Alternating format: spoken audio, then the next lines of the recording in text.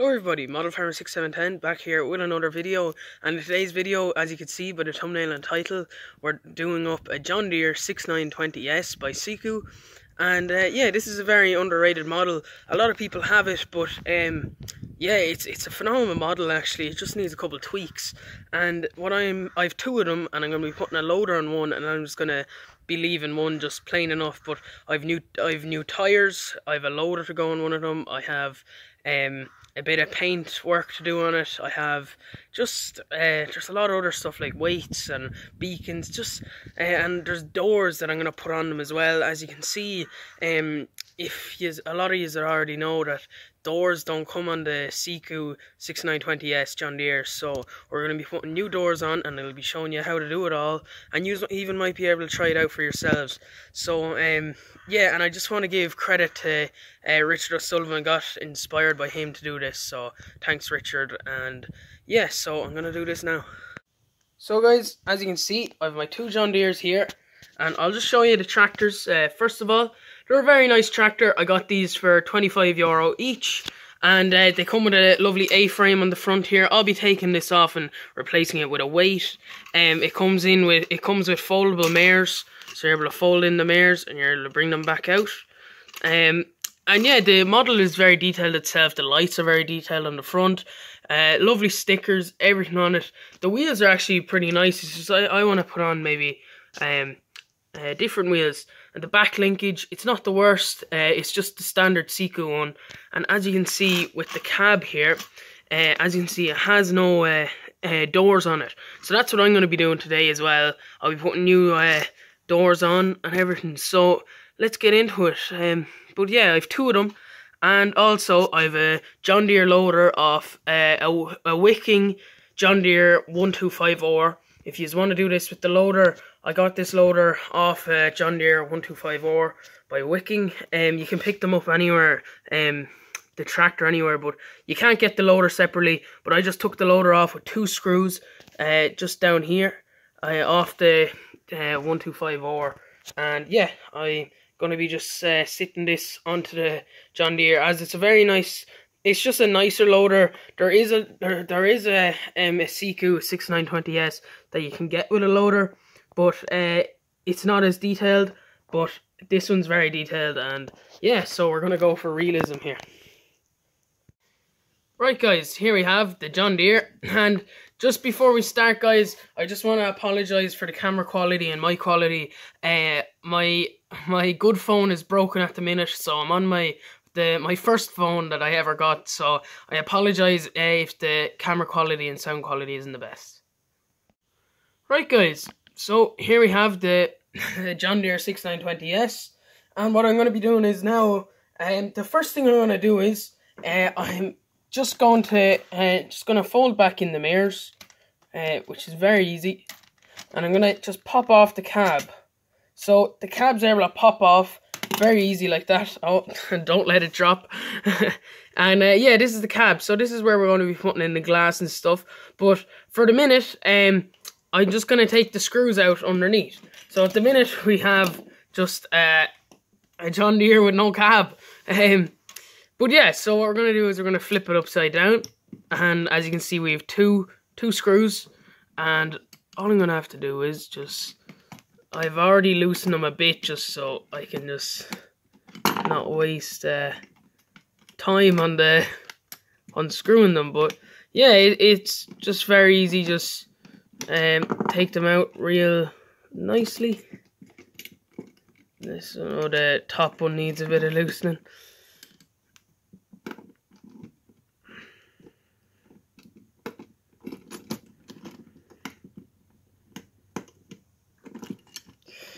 Right, that should do it. Oh, apologies now.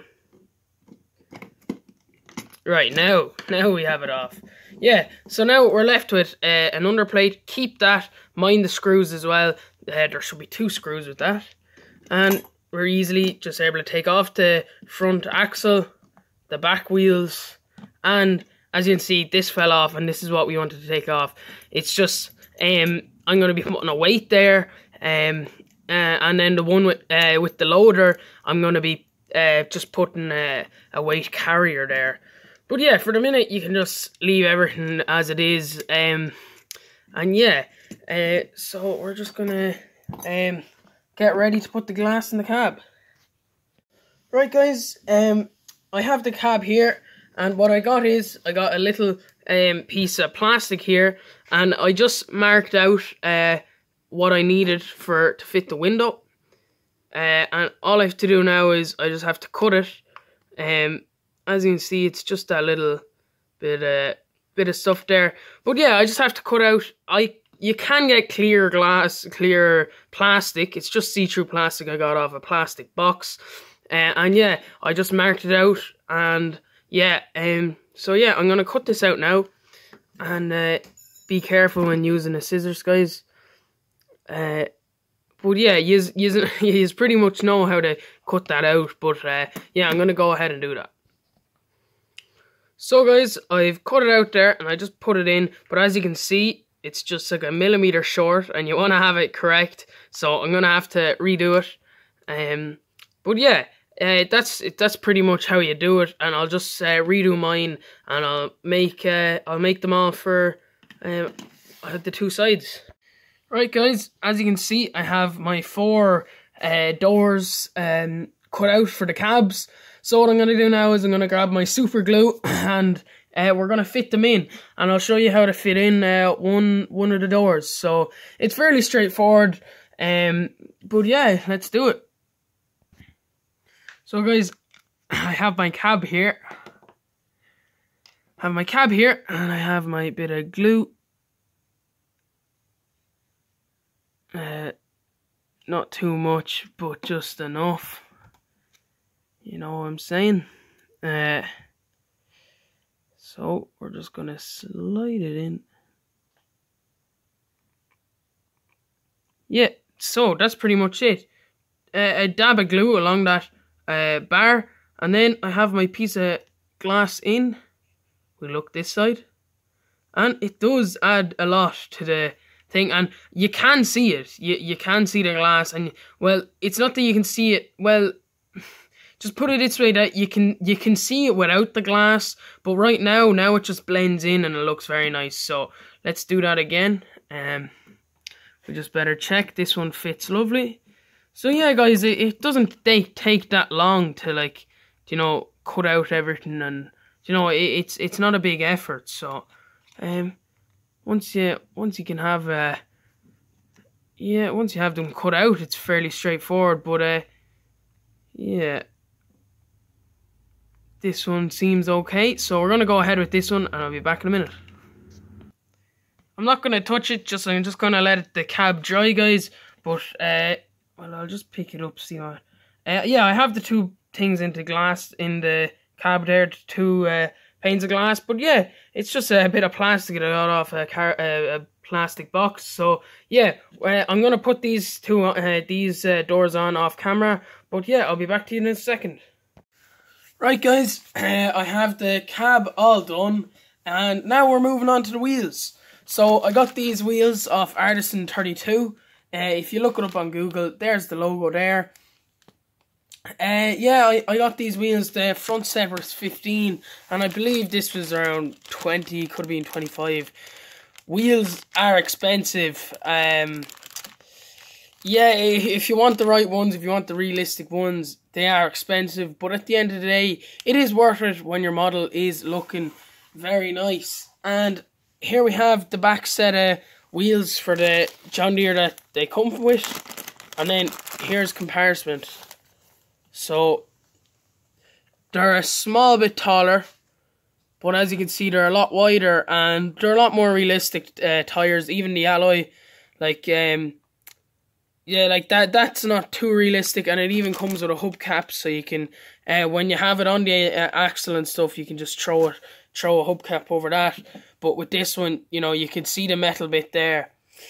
Uh, the, for the front ones, uh, I've taken the tyres off, uh, the front ones, but um, uh, they are they're a bit similar. They're just uh, they're um, they're a bit wider and uh, they're roughly around the same size uh, with the tyre on them. Uh, what I have to do now is I have to take off these um, with these rims, and we're gonna throw these on.